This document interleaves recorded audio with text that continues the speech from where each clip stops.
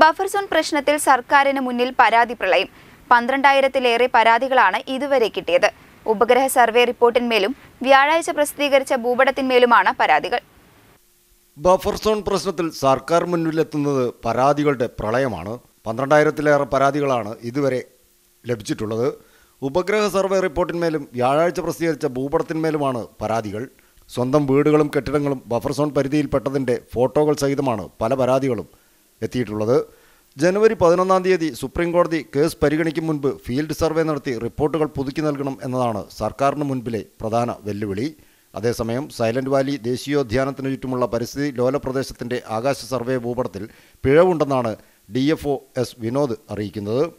Silent വാലിക്ക് നേരത്തെ തന്നെ buffer zone ഉള്ളതിനാൽ കൂട്ടിച്ചേർക്കൽ വേണ്ടിവരില്ല. ജനങ്ങൾ ആശങ്കപ്പെടേണ്ട സാഹചര്യമില്ലെന്നും ഡി അറിയിച്ചിട്ടുണ്ട്. ന്യൂസ് ഡെസ്ക് സി പ്രാദേശിക വാർത്ത.